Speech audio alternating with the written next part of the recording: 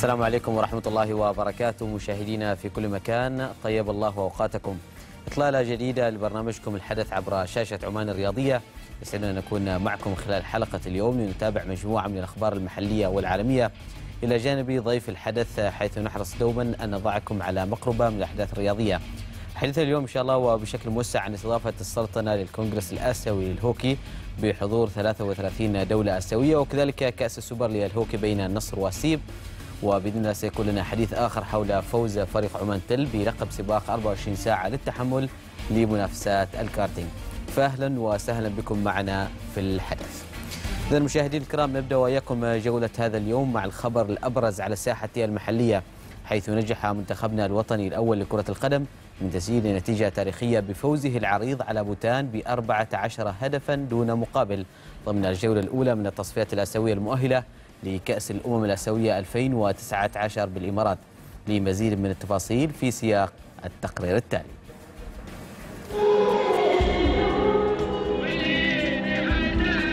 بداية مبشرة وأهداف غزيرة خرج بها الأحمر أمام بوتان في بداية المشوار الآسيوي.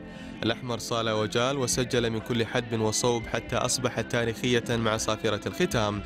المقبالي كانت له حصة الأسد بسداسية وسوبر هاتريك من الهاجري البديل في أول مباراة رسمية. الضيف بوتان ظهر بلا حول ولا قوة ولم يلتقط أنفاسه حتى باغته عبد العزيز المقبالي بالهدف الأول في الدقيقة الأولى بعد انفراده بالحارس ومن تمريرة محكمة من محسن جوهر. بعدها تنافس لاعبون على إضاعة الفرص وضيع علي أحمدي فرصة سهلة. وأبعد مدافع بوتان هدفا محققا بعد ركنية سعد سهيل سهولة الوصول لمرمى الضيف أرغمت كانوا على التقدم وتسجيل الهدف الثاني في الدقيقة الخامسة والعشرين. بعدها بخمس دقائق يضيف محسن جوهر الثالث من تسديدة قوية من خارج المنطقة. ثم أضاف عبد العزيز المقبالي الهدف الرابع للأحمر والثاني له شخصيا.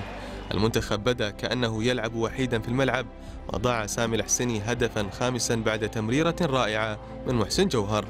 لكن الحسني ترك مهمة التسجيل المقبالي بعد عمل جماعي مميز وتمريرة بالرأس من رائد إبراهيم.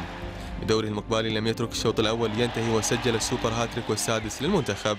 ونادر عوض يابى أن ينتهي الشوط دون ترك اسمه في قائمة المسجلين بعد رأسية رائعة. سباعية الشوط الأول أعطت المنتخب الثقة بدخول الثاني برغبة في تسجيل المزيد. الثقة الزائدة جعلت كانو يخطئ أمام مهاجم بوتان الذي خطف الكرة واتجه صوب الحبسي لكن محمد مسلمي أنقذ الموقف. الدقيقة الثانية والخمسون شهدت الهدف الثامن للأحمر بعد مجهود رائع من اليساري علي البوسعيدي أنهاها مدافع بوتان في شباك فريقه. مهنا سعيد ووليد السعدي أعطيا الفرصة لسعود الفارسي يدخل بديلا عن سامي الحسني والهاجري بدل المميز رائد إبراهيم. عبد العزيز فرض نفسه نجما للمباراة بتسجيله للهدف التاسع والخامس له بعد عرضية مثالية من سعد سهيل. الذي شارك في أكثر من هدف بعرضياته الهاجري وبعد دخوله بدقائق أضاف العاشر بعدما تبادل الكرة مع محسن سددها من تحت حارس بوتان.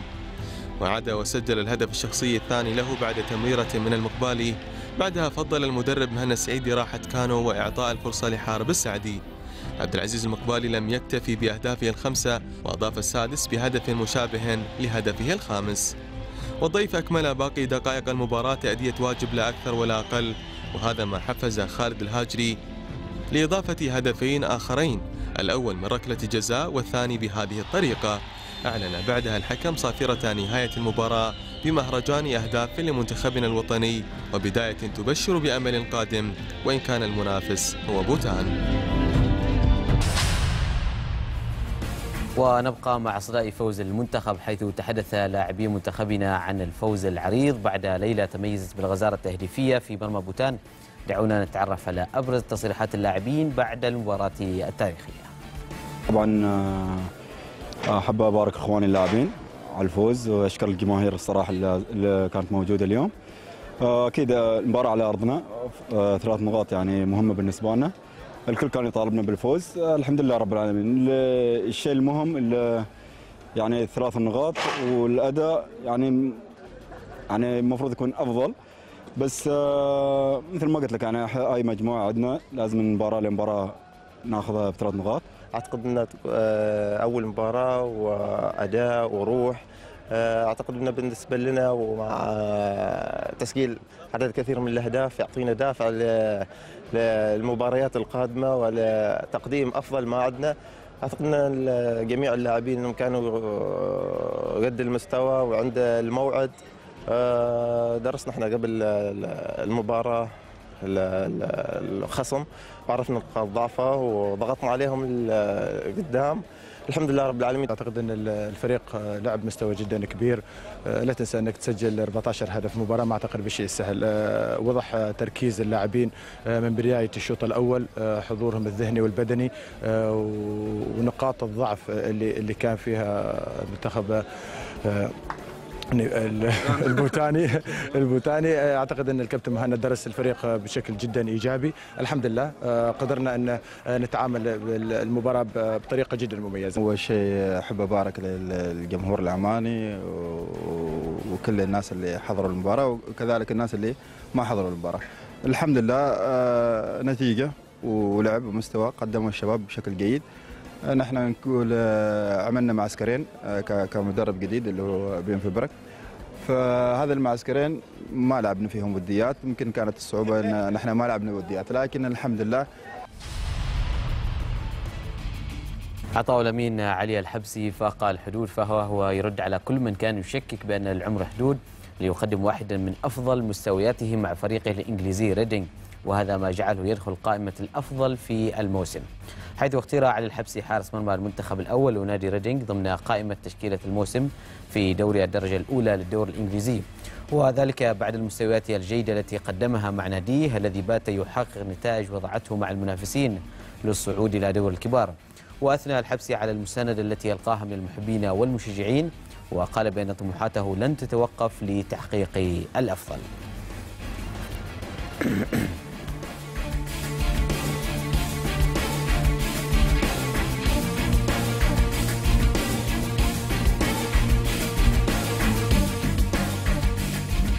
وبعيدا عن كرة القدم استرد فريق نزوة بطولة دوري عام السلطنة لكرة السلة يوم أمس وذلك رغم خسارته من الاتفاق 78 مقابل 65 في حين حل أهلي ستافي المركز الثاني بعد تغلبه على السيب الذي احتل المركز الثالث في سلم الترتيب.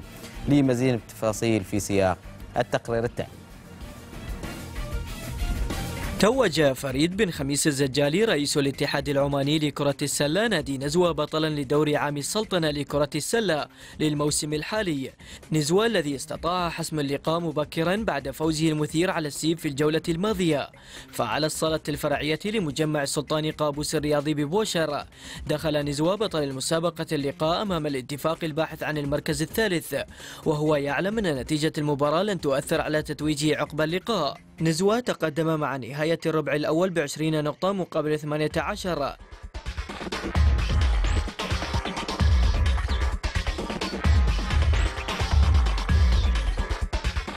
وفي لقاء قوي من أجل خطف المركز الثاني. تفوق أهل زداب على نادي سيب ب 65 نقطة مقابل 54 المباراة كانت قوية من الطرفين كون الفريق الفائز سينال وصافة الدوري. الفريقان تبادلا السيطرة على المباراة وكلمة الحسم ذهبت في النهاية لصالح أهل زداب بعد المباراة قام راعي الحفل بتتويج الفائزين بالمراكز الثلاثة الأولى حيث نال نزوى المركز الأول وحل أهل زداب في المركز الثاني بينما ذهب المركز الثالث لنادي السيب والرابع لنادي الاتفاق. ونبقى مع كرة السلة حيث اختتمت بمجمع سلطان قابوس الرياضي ببوشر أمس حلقة عمل إدارة وتنظيم الفعاليات الرياضية التي نظمتها اللجنة النسائية باتحاد كرة السلة. وذلك بمشاركة 30 متدربة من أخصائيات النشاط الرياضي ومعلمات الرياضة المدرسية وموظفات وزارة الشؤون الرياضية والمهتمات بلعبة كرة السلة بمحافظات مسقط وجنوب وشمال الباطنة. وذلك في الحلقة التي قدم جلساتها النظرية والعملية المحاضر الدولي هشام بن سالم العدواني ومدرب المنتخب الوطني ماركو وطارق بدوي المنسق الفني بالاتحاد.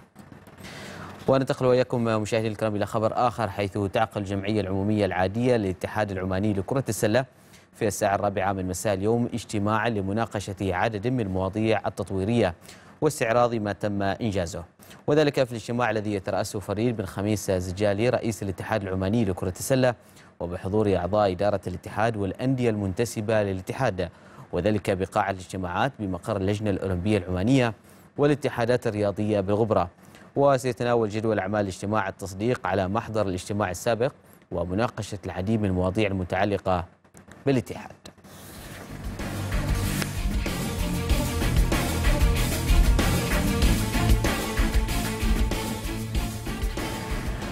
تتواصل منافسات سباقات الخيل الأهلية على مضمار مزرعة الرحبة لسباقات الخيل والتي ينظمها نادي سباق الخيل السلطاني بشؤون البلاط السلطاني.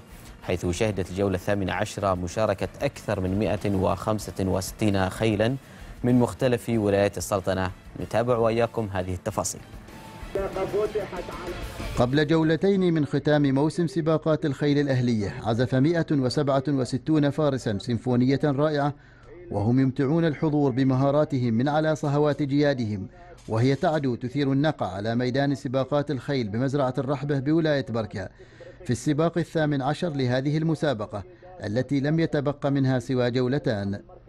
الفرس بصائر تقص شريط السباق في الشوط الأول لمالكها الشيخ سالم بن راشد البلوشي والفارس سيف بن حمد البلوشي. وفي الشوط الثاني يتوج الفارس عامر بن علي الراسبي وهو يمتطي الحصان AF ظني باللقب والمالك علي بن يوسف البلوشي. أما المهر جرناس مسقط لمالكه السيد منذر بن سيف البوسعيدي والفارس إبراهيم بن خميس الهنائي فقد خطف لقب الشوط الثالث شوط الميل. ويفرض الحصان جبر أسلوبه على مجريات الشوط الرابع وهو يتوج باللقب لمالكه يحيى بن راشد المسروري والفارس عيسى بن محمد البلوشي. وفي الشوط الخامس والمخصص للخيول العربية الأصيلة يخطف الحصان المنذر لقب الشوط لمالكه نصر بن ناصر المفرجي والفارس أنس بن سالم السيابي. ويتمكن الحصان Arabian Skies من حصد لقب الشوط السادس لمسافة 2000 متر. لمالكه سعيد بن عامر الريامي والفارس عيسى بن محمد البلوشي. ويضرب حصان الخيالة السلطانية التيكو دو كايرو موعدا مع الألقاب حين استطاع الفارس محمد بن عبد الله بن عبد الرحمن من الوصول إلى خط النهاية بكل اقتدار. وتتواصل إثارة أشواط السباق حيث استطاع الحصان ديباو كينج من خطف لقب الشوط الثامن وفرحة مالكه ياسر بن حمود الكندي والفارس أسعد بن علي السيابي. ليكون مسك ختام هذا السباق الشوط التاسع شوط الإثارة والمتعة حين تمكن الحصان آر بي ماجيك مان من خطف لقب الشوط التاسع للمالك أحمد بن حمود النهدي والفارس عبد العزيز بن فهد البلوشي. الختام تكريم الفائزين أصحاب المراكز الأولى في الأشواط التسعة في هذا السباق. عبد الله بن عامر الويهي من مزرعة الرحبة لسباقات الخيل بولاية بركة محافظة جنوب الباطنة.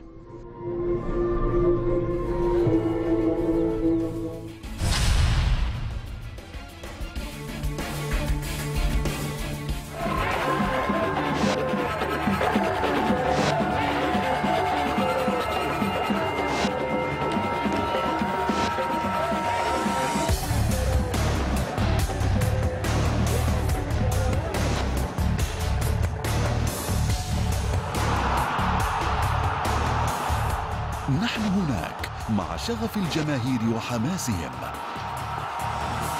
صدى الجماهير عبر قناة عمان الرياضية.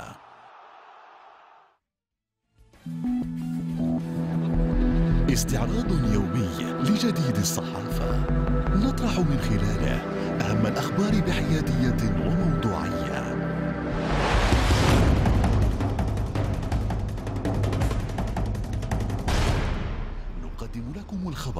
بحقيقته الكاملة.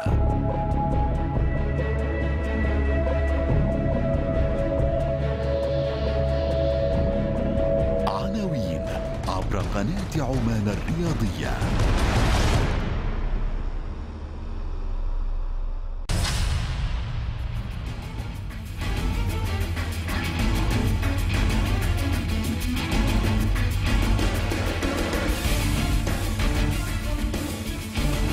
أهلا وسهلا بكم مجددا مشاهدينا الكرام وطاب مساكم بكل خير. ومع فقرة ضيف الحدث والتي سنتحدث من خلالها عن استضافة السلطنه للكونغرس الأسيوي للهوكي بفندق جراند ميلينيوم الذي سيحتضن كافة الفعاليات لهذا الكونغرس بحضور 33 دولة أسيوية.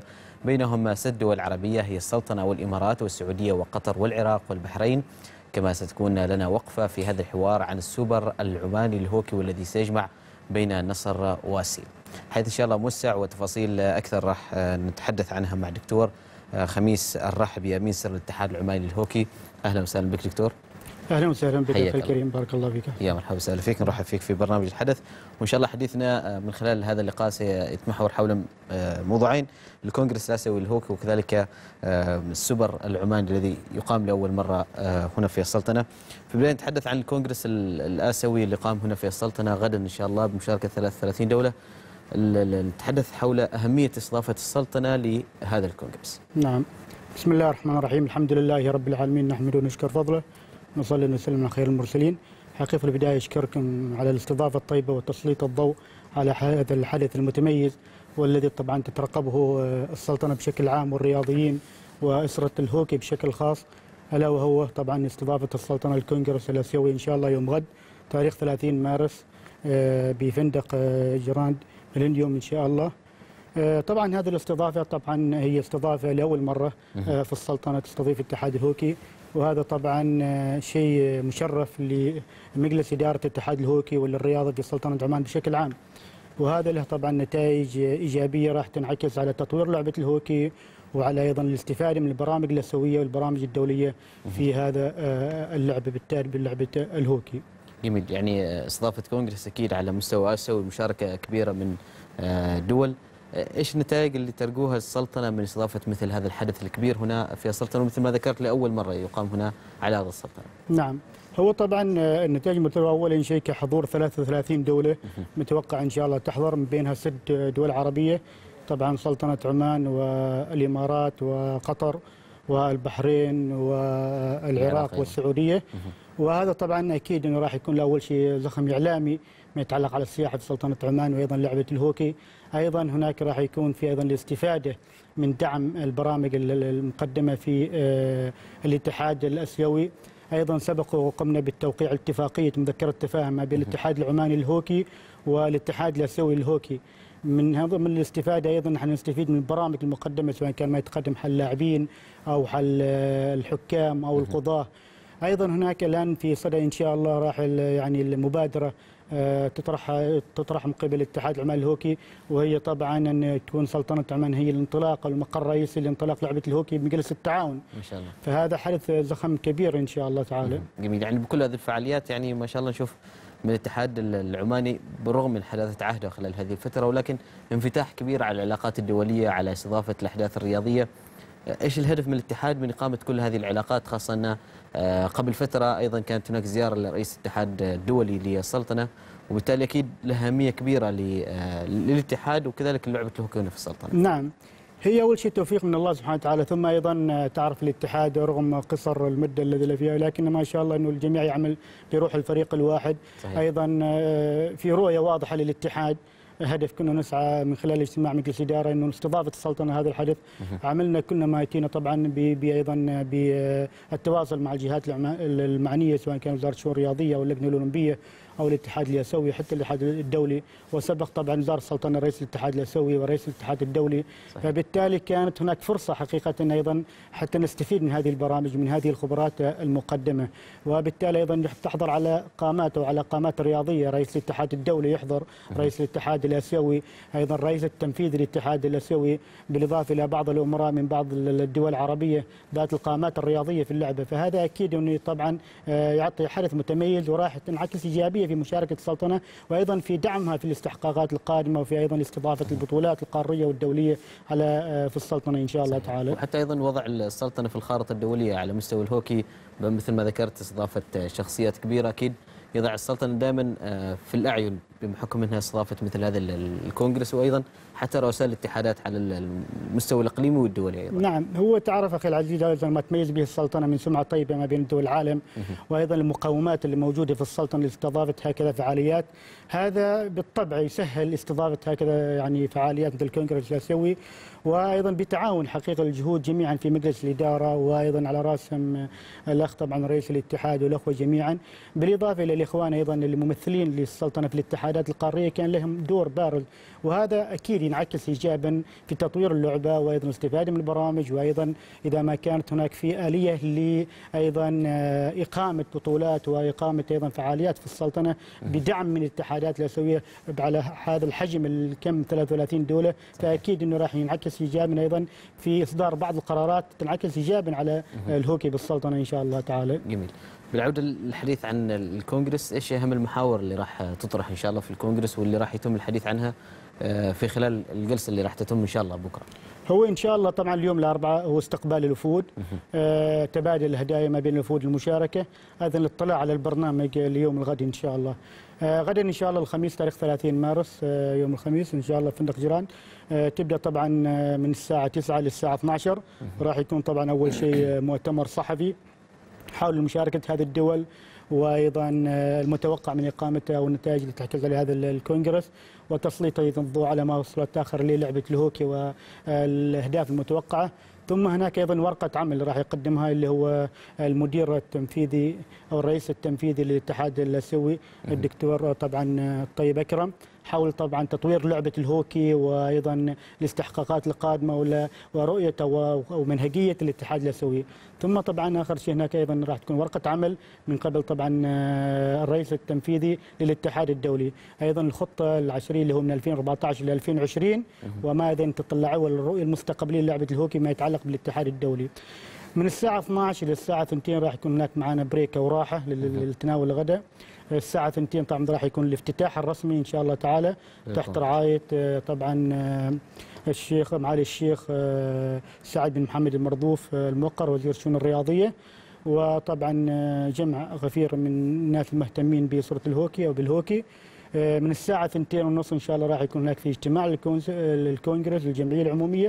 من الساعة 2 ونص إلى الساعة السادسة مساء إن شاء الله يعني آه، بكرة عمل راح يكون كبير إن شاء الله ان شاء الله ثم. بعد ذلك طبعا من 6 إلى 7 ونص اللي هو استراحة ثم بعد ذلك إن شاء الله نتوجه إلى مجمع السلطان قابوس الرياضي بوجر الساعة 7 ونص إن شاء الله تبدأ أو نتابع مباراة آه، السوبر ما بين نادي النصر ونادي السيب إن شاء الله يعني تعالى. حتى توقيت مباراة السوبر جاء في توقيت مميز ما اعرف إيه نعم. الكونغرس وضع مع السوبر السوبر وضع مع الا الكونغرس؟ نحن حاولنا أيضا بحكم أيضا وجود هذه الشخصيات وهذا ال 30 دولة وعلى رئيس الاتحاد الدولي ورئيس الاتحاد الاسيوي الكبار هذا حاولنا أيضا يكون الحدث أيضا دعم أول شيء.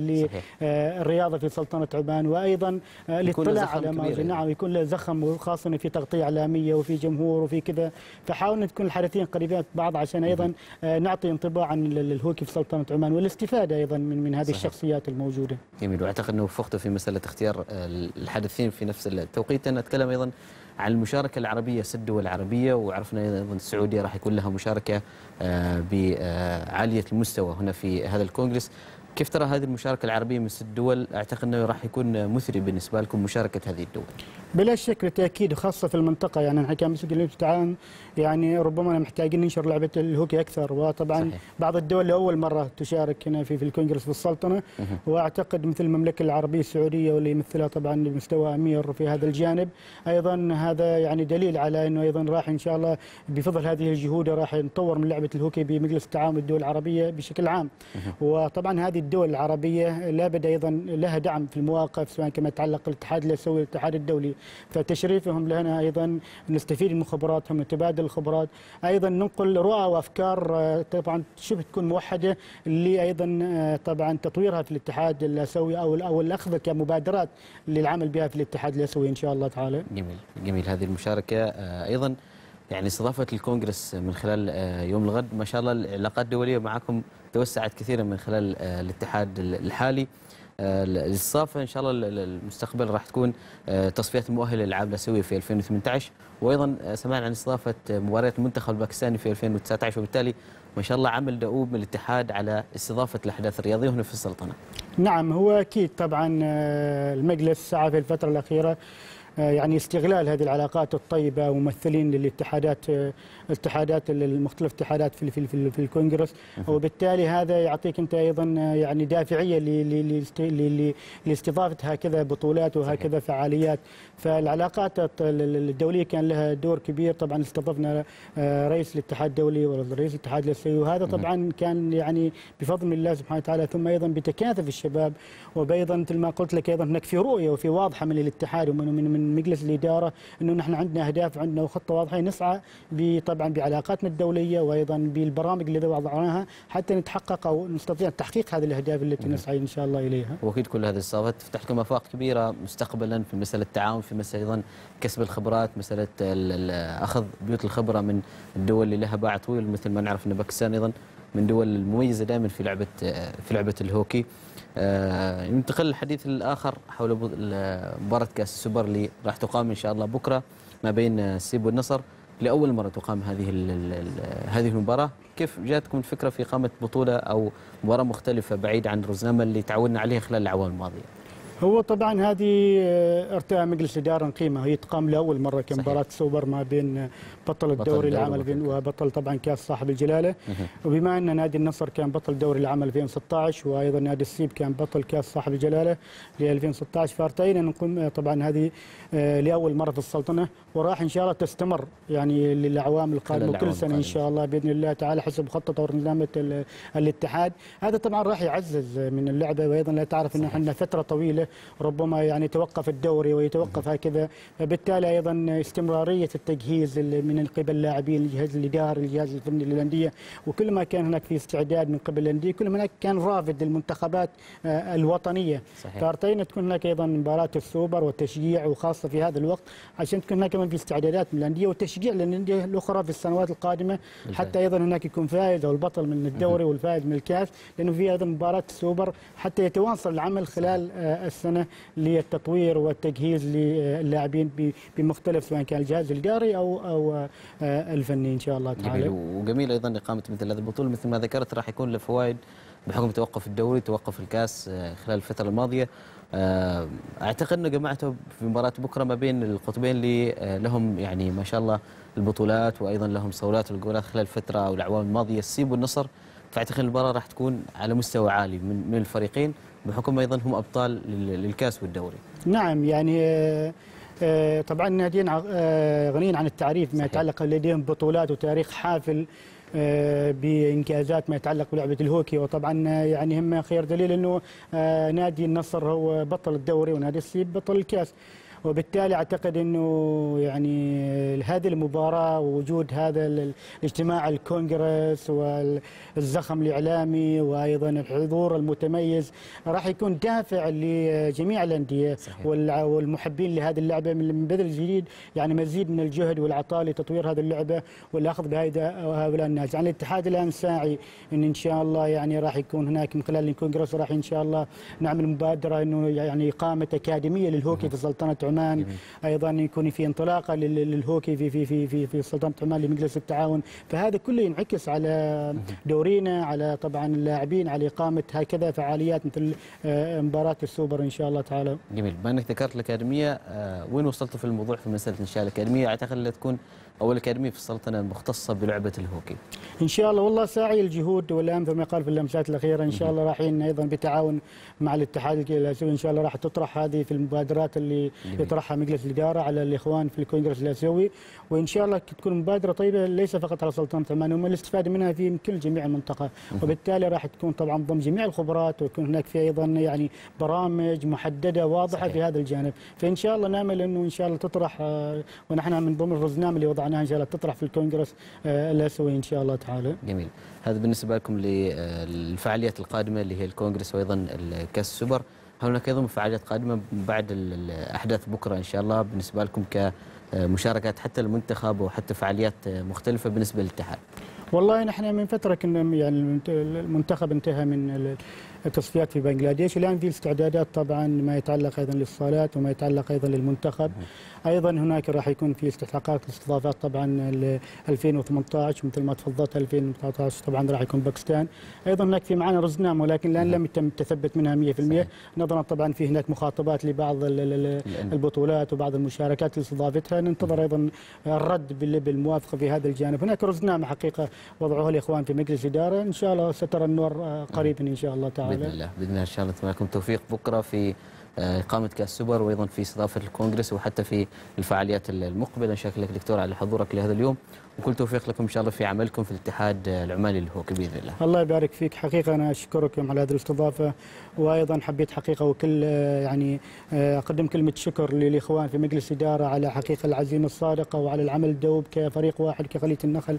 أيضا الشكر حقيقة لمعالي الشيخ وزير الشؤون الرياضية والإخوة وزارة الشؤون الرياضية واللجنة الأولمبية ولجميع محبين حقيقة الهوكي لأن هذا التعاون حقيقة وهذا الحديث الجميع اشترك فيه لأنه هو في النهاية يعكس طبعا باسم عمان. فالجميع حقيقة اشتركوا فيهم والإعلام جزاهم الله خير كان لهم دور كبير وإن شاء الله أيضا في يوم غد راح يكون لهم دور في التغطية سواء كان الكونغرس أو المباراة سوبر. فكل الشكر وإن شاء الله نتأمل التوفيق إن شاء الله في. المرحلة القادمة إن شاء الله. شكرا لك شكرا جزيلا. بارك الله فيك أحسنت. إذا كان حديثنا مشاهدينا الكرام عن كونغرس آه، الآسيوي للهوكي وكذلك كأس سوبر للهوكي بين النصر والسيب الذي سيقام غدا. مستمرين معكم إن شاء الله في برنامج الحدث. بعد الفاصل لنا عودة واستكمال لما تبقى من برنامج الحدث. تفضلوا بالبقاء معنا.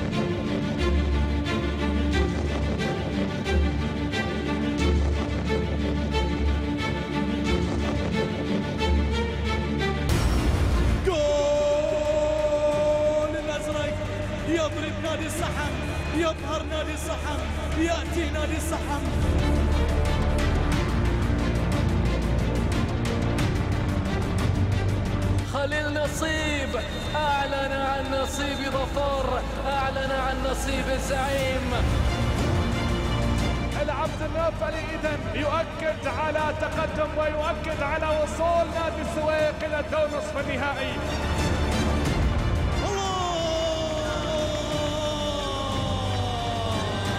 هو البديل هو جعفر. كأس جلالة السلطان لكرة القدم على عمان الرياضية.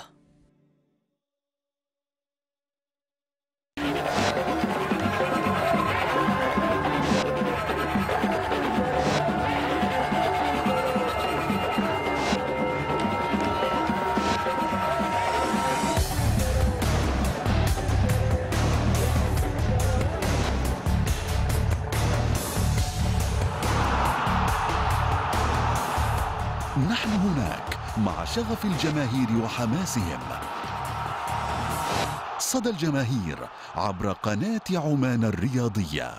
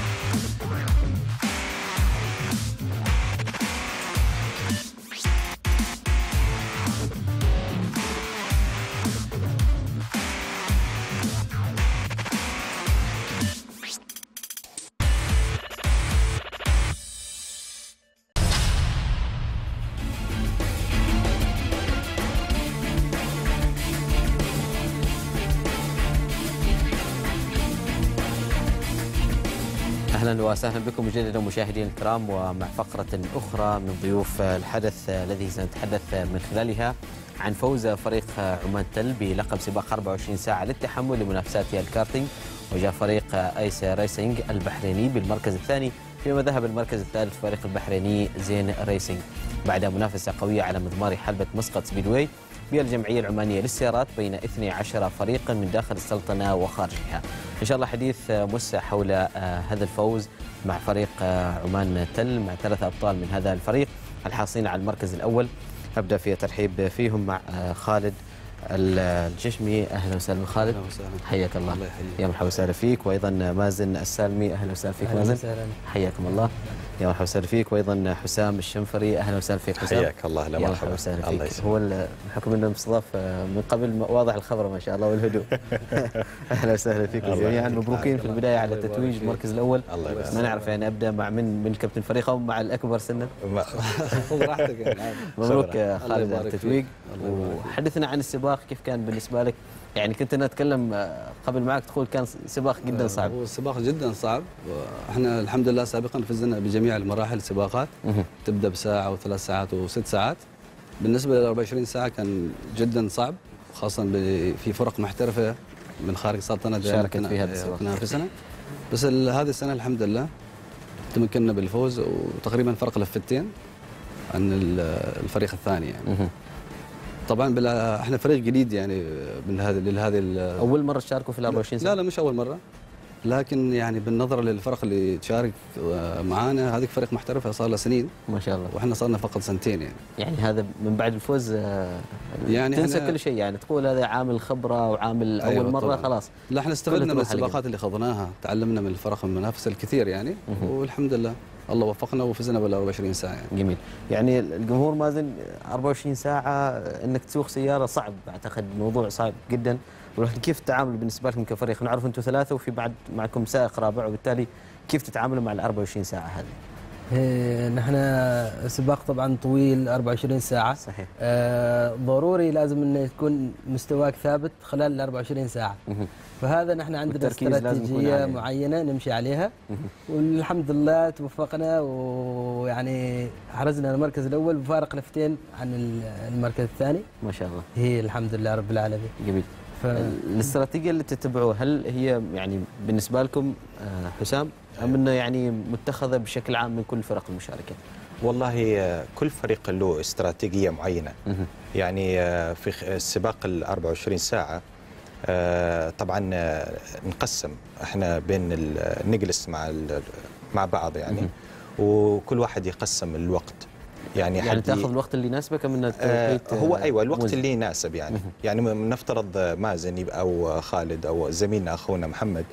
آه، يبدأ ساعتين مثلا في بداية السباق آه، ومن ثم يدخل مازن ساعتين وأنا ساعتين وكذا ما شاء الله. بعدين نقسم ساعة آه، 45 دقيقة وهكذا آه، لكن فترة الليل نحاول إنه ناخذ فترة أطول لأنه سباق 24 ساعة فعلى أساس ال- السائقين الثانيين يرتاحوا شوية.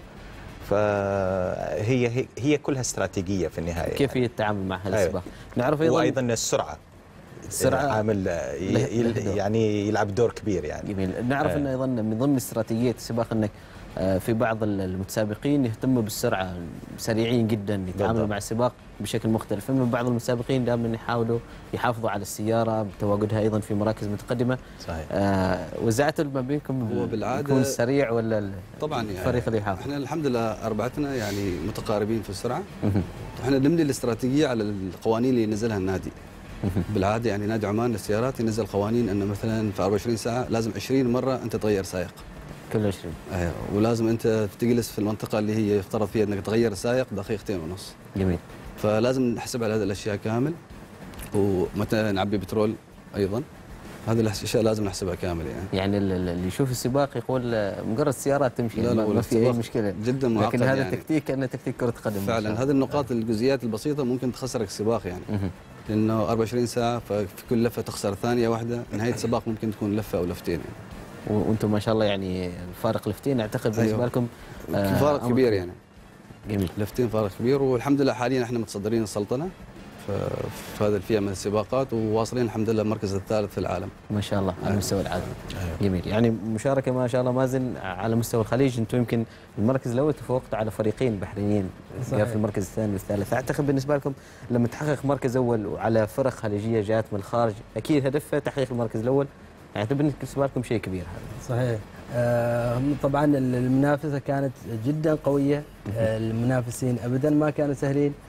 يعني نحن نافسناهم سابقا آه، في البحرين وفي رأس الخيمة. ما شاء الله. هي لكن آه، يعني كانوا يتفوقوا علينا. لكن الحمد لله يعني حافظنا على لقبنا في في السلطنة. والحمد لله إلى الآن إحنا متصدرين. وإن شاء الله جاهزين حل المنافسة في السباقات الجاية إن شاء الله. يعني يمكن عامل الأرض والجمهور أصبح له دور. هي أكيد. تغلب تحت. فريق البحرين. آه، أيضا من ضمن الأسئلة اللي تطرح يعني كيفية التعامل مع هذا السباق في مسألة تلقي المعلومات تلقي التعليمات من الفريق أكيد لكم طريقة تواصل محددة. خبرنا حسام أكثر عن تفاصيل بحكم أنك أيضا موجود ما شاء الله في السباق. نعم. وسخت آه، لفترات طويلة نعم ال- على أساس نوصل المعلومات للسائق. آه، نستعمل إحنا الجهاز الآيباد. ما وأيضا ال board في board يعني لائحة نحط فيه الأرقام نعطي للسائق الفترة الزمنية اللي استغرقها في اللفه ال- وهو في الحلبة. وهو في الحلبة آه، في اللفة الأولى والثانيه والثالثه نعطيه كل على كل خمس دقائق نعطيه وقته يعني كم. آه، ثاني آم، ثانية يسوي فيه لفة يعني. آه، غير كذا نعطيه. الوقت اللي قضاها في الحلبة حلو. وكم المتبقي على أساس يكون هو عنده فكرة يعني إنه آه، بعد عشر دقائق أو نص ساعة راح كم يم- في أيوة، الحلبة متى بيطلع؟ متى بيطلع وكم بيكمل يعني. مهم. هي وطبعا معنا فريق فني هو اللي راح آه، مختص بهذا. مختص بهذا الشيء وهو اللي يعطينا المعلومة لل... لل... للس... للسائقين جميل. وهذا هنا هنا عامل تركيز جدا مهم. أيوه صحيح. لانك أنت تتعامل مع توقيت تتعامل مع فريق أثناء نعم، خروج نعم. أثناء دخول هي كثير يعني السباق ال- ال- القدرة والتحمل. آه، فيها جهد بدني وذهني أيضا. كثير يعني. ف فدائما يعني ال- السائقين يعني تعرف بعد كل لفة يعني يشوف ال- ال- الفريق الفني وغير كذا تركيزه في الحلبة ففيها جهد كثير. تركيز نعم، كثير. جميل. تركيز آه، خالد وين الوقت المناسب بالنسبة لك؟ أنا سألت بعض المتسابقين من غير فريقكم يقول لك بعض المتسابقين يفضل فترة النهار ما عنده أي مشكلة، فترة الليل أيضا ما عنده أي مشكلة، لكن آه وين التوقيت المناسب بالنسبة لكم وكيف قسمتوا هذا الفكرة؟ والله إحنا نقسمها على التدريب لأنه في بعض السباقات إنه يوقفوا السيارات على جانب. وأنت تجي تركض في السيارة ويبدا السباق. جميل. فأسرع واحد فينا مازن ما شاء الله. الطريقة يعني. هذا شكل اللياقة عالية. فعشان ما نخسر يعني في بداية السباق آه، ثواني أو دقائق فنحط مازن. وبعدين اللي التقسيمة تكون بالترتيب. بالترتيب.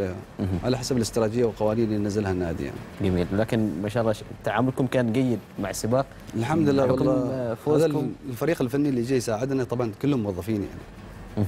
ويعني ما انهم محترفين أو مختصين في هذا الشيء فقط هم يجوا يتبرعوا محبين لهذا محبين نعم. يجوا يساعدونا يعني لكن وفقت فيهم ما شاء الله. الحمد لله يا رب العالمين إن شاء الله توفقوا دائما فيهم حتى في. مشاركاتكم الخارجية. إن شاء الله. آه، يمكن ذكر آه، حسام نقطة محدد في مسألة التعامل بتركيز إنك تكون حاضر ذهنيا حاضر بدنيا وبالتالي أكيد محتاجين إلى رعاية طوال هذه الفترة. كيف أيضا مسألة الرعاية الصحية بالنسبة لكم طوال ال 24 ساعة؟ والله نحن استعداداتنا كانت طبعا يعني قبل فترة يعني تمارين مستمرين على تمارين وكذا لياقة البدنية عالية. ولان سباق الكارتينج يحتاج يكون آه، يعني اللياقة عندك عالية على أساس إن تركيزك في السباق ما يقل. صحيح. تكون دائما مركز لأن أجزاء من الثانية أنت تخسرها ممكن تخسرك مركز. الثاني يروح لي صحيح. أو إنك تكسب إذا كنت أسرع بأجزاء. ما شاء الله. فالحمد لله يعني أربعة سائقين كنا كنا في مستوى واحد.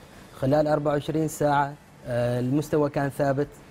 والحمد لله يعني طلعنا بنتيجة طيبة الحمد لله. جميل. وهذا وهذا هو الأهم. هذا هو يعني. الجهد اللي بذلتوه خلال الفترة الماضية ما راح آه، الحمد. لله رب العالمين. آه، حسام خبرنا مشاعرك كنت خلاص أخذت المركز الأول وتوجت باللقب. كيف كانت المشاعر خاصة مثل ما ذكرنا يعني المنافسين ما كانوا سهلين. لو كانوا سهلين صحيح. يعني بتاخذ ال- ال- اللقب بكل سهولة. لكن حدثنا عن هذه المشاعر ولحظة التتويج بالنسبة لك والله كان آه، شعور جدا طيب يعني خاصة إنه آه، إحنا بدينا في 2015 آه، وهذه هذا ثالث سباق تقريبا. هذا يعتبر آه، ثاني سباق ثاني سباق. 24 ساعة. مهم. آه، لكن إحنا بدأنا في 2015 وشاركنا في سباق 24 ساعة في 2016 آم، وكانت تجربة لنا يعني. آه، والحمد لله يعني هذه أول أول بطولة نحصل عليها في سباق 24 س- 24 ساعة 2017 يعني. ما شاء الله. وكان شعور جدا يعني آه، طيب الحمد لله يعني. وأعتقد إن هذا راح التوفيق من الله الحمد. لله يعني. وجهود الشباب وطبعا التدريب. يعني إحنا تعلمنا كثير يعني من في من بعض. وغير كذا ال- البطولات المت- البطولات الدولية اللي كنا نشارك فيها تعلمنا منها كثير. تعطيك خبرة إضافية. تعطينا خبرة كثير يعني. صحيح. يعني رحنا الإمارات البحرين وكذا يعني. فنكتسب خبرة كثير يعني من ال- اللي سبقونا يعني 15 سنة. ما شاء الله. أيوه يعني إحنا الحين الحمد لله سنتين يعني فقط لكن يعني. سنتين وتحقيق لقب؟ أيوه الحمد هذا يدل لله. على عمل ويدل على جهد أكيد. أكيد أكيد. وهذا والإرادة. يعني أكيد. جميل. الحمد لله. آه خالد يعني مسألة إقبال الشباب حاليا على الكارتينج ما شاء الله شفنا آه إنشاء فرق جديدة ظهور فرق. أيضا يمكن حتى في هذا السباق شاركت هناك مجموعة من الفرق لأول مرة نعم. آه في هذا السباق. كيف تشوف آه لعبة الكارتينج حاليا في السلطنة وإقبال الشباب ما شاء الله عليها بدأ يزداد وصارت لها شعبية؟ والله يعني الإعلام ما مقصر بدأ يظهر اللعبة. إنه سابقا ما كان فيها يعني دعاية إعلامية أو صحيح. حاجة. ومثل ما قال لك حسام إحنا تدربنا ما بين ما في مدربين محترفين. يعني ممكن يقودوك لل- ممكن أيوه. يدربوك لأن إحنا بدينا يعني فكرة كانت في الشركة عندنا عملوا أولمبياد للموظفين ومن ضمنها كان الكارتينج. ما شاء الله.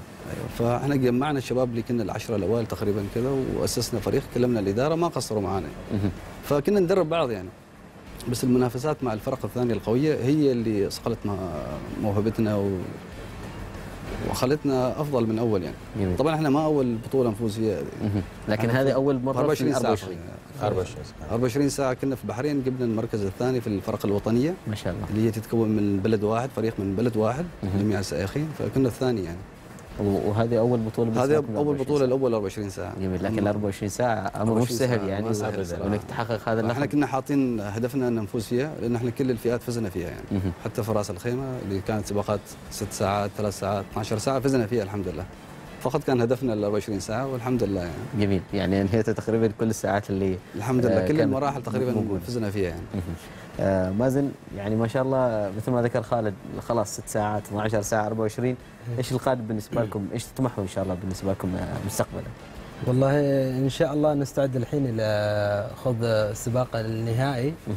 في فرنسا بيكون في مايو القادم. ما شاء الله. إن شاء الله. والاستعداد إن شاء الله لهذا السباق. هذا على مستوى العالم؟ على؟ مستوى العالم نعم، طبعا. جميل. فهذا تأهلنا. طبعا نحن كنا متصدرين السلطنة في السنة الماضية في عام 2016 فأهلنا لهذا السباق.